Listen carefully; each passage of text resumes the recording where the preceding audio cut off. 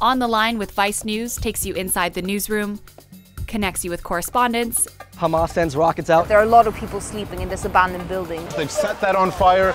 and makes them answer to you. I'm curious about uh, something. What were the challenges of being a journalist? And what were the observations that she made? Thursday at 12 p.m. Eastern, We're in a weird place. There's no money left in this country. Charlie LeDuff will join Vice News to take your questions on America's struggling cities, aging infrastructure, and wealth inequality.